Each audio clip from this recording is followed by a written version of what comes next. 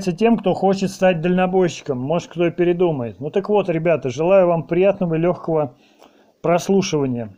Надеюсь, сказанное в этом ролике остановит многих, и они в дальнейшем примут правильное решение. Речь пойдет о работе дальнобойщиком.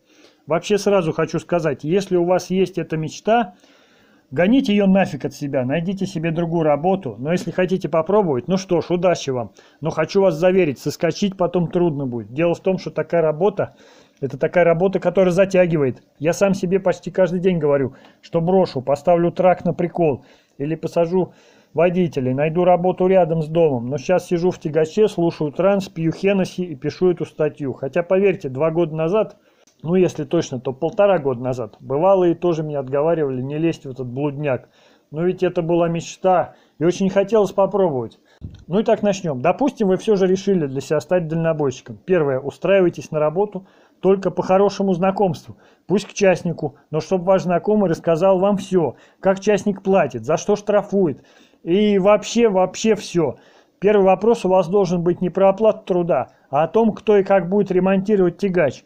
Если вам скажут «мелкий ремонт делаешь сам», уточните, какой мелкий ремонт, тут нет ничего зазорного. Это для того, чтобы вы потом не говорили «мы с вами так не договаривались».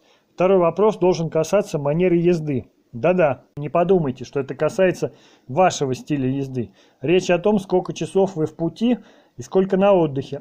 Тахограф скажете. Да плевать в РФ на тахограф. Взятки за езду не по тахографу в среднем от 300 до 500 рублей на посту. Обговаривайте все стоянки, питание, платные дороги, телки, душ, туалет, кто платит, вы или хозяин. Часто работодатель не платит платные дороги и телки. Остальное считается командировочные растраты. Если, допустим, знакомства нет и вы пришли к частнику, сразу не надейтесь, что вы получите супер-пупер трак без проблем. Даже если вы сядете на Америку, не радуйтесь просторной кабине. Часто на загрузках водилы Америк плюются и матерят эту машину из-за очень большого радиуса поворота. А места часто очень мало. И поверьте, на европейках намного легче маневрировать. Но это известный факт. У нас в самой большой стране мира меньше всего места. За чистую участников всегда все последнее и в единственном экземпляре. Да, кстати, слышали про сообщество дальнобойщиков на дороге. И не надейтесь, его нет. Редкий водила вам поможет на дороге. На стоянках в основном все сидят по своим хатам, зашторив окна. Редко, когда найдется нормальный собеседник. Причем в основном собеседники – это коллеги за 50. Молодежь часто редко идет на контакт. Но вернемся к трудоустройству, к частнику. Допустим, с ремонтом трака вы согласны, с оплатой командировочных тоже. Надеюсь, трак вы видели и шаланду тоже, что и вас все устраивает. Кстати, если шаланда, палатка – вся на ремешках и перетянута тросиком, держит, держит тент, который крыша не сдвижная. Не радуйтесь, заманаетесь на загрузках, выгрузках, ее чехлить, расчехлять. Напрыгайтесь вдоволь. А еще, если до вас какой-то умник ролики, ролики крыши смазал солидолом, литол, или литолом, то все, алис писец, настанет момент, когда вы крышу будете стягивать не крюком специальным, а дрыном и божьей матерью. Керосин и кисточка вам в помощь, чтобы вымыть всю эту срань и в дальнейшем смазать ВДшкой. В общем, вы уже почти согласились работать на дядю Васю или Петю, а теперь задайте вопрос по оплате. И тут самое интересное. Например, дядя Вася вам говорит, я тебе за рейс буду платить, скажем, 15 тысяч рублей. Предлагает варианты оплаты.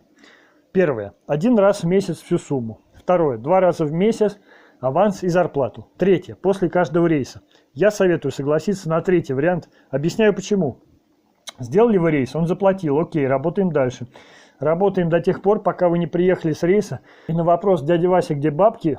Да ты подожди немного, съезди еще в рейс. Приедешь, я заплачу за два рейса сразу. Вот тут на оплату часто можете не надеяться. Поверьте, прохавано на личном опыте. 15 тысяч отдать легче, чем 30. За тридцатку уже жаба душит дядю Васю. И начнет он вам платить уже частями.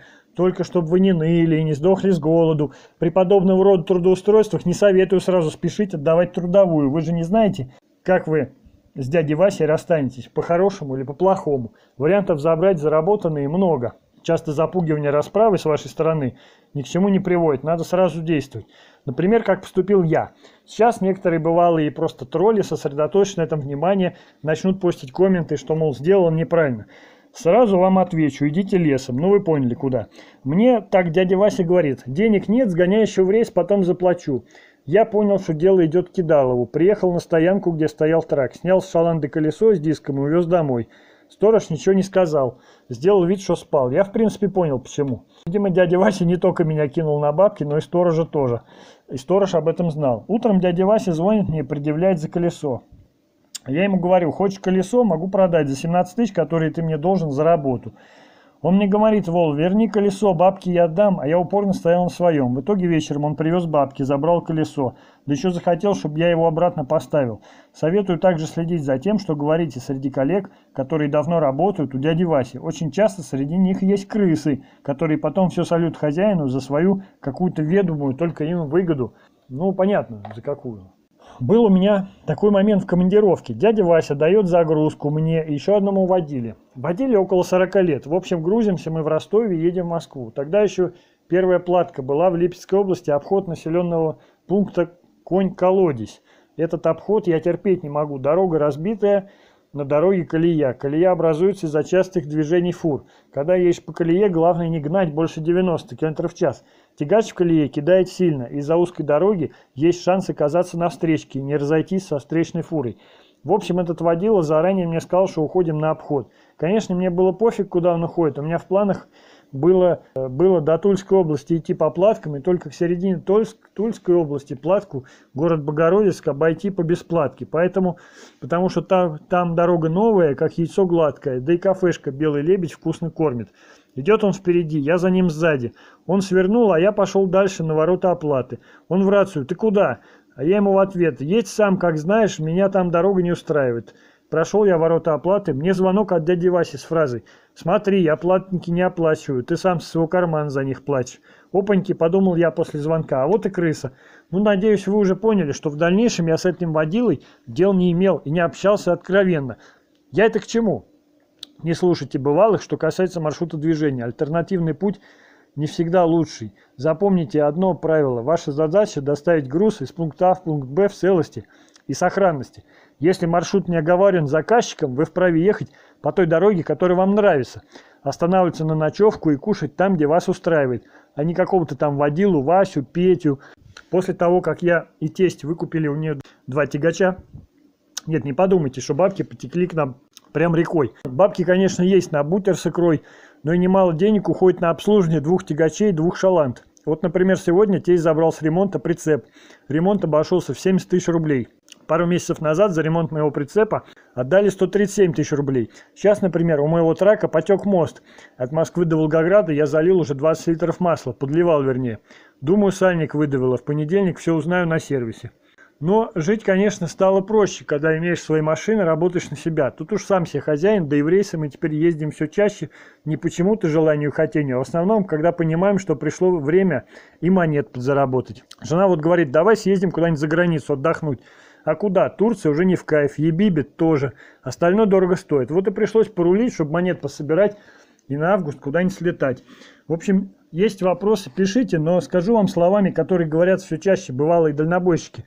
Дальнобой же совсем не тот, что раньше. Раньше я не застал. Сужу только по рассказам тестя и бывалых, и понимаю, не врут они. Еще один момент, как ни крути, но работа эта очень опасная и тяжелая. Многие скажут – да что там, сидишь, рулишь и тупо педальку давишь или на круизе идешь, как часто я, например, езжу. Просто эти бедолаги, кто имеет такое мнение, не понимают всех прелестей от такой езды. Они максимум едут раз в год на расстояние полторы тысячи километров к морю и обратно. А вы будете весь год наматывать тысячи километров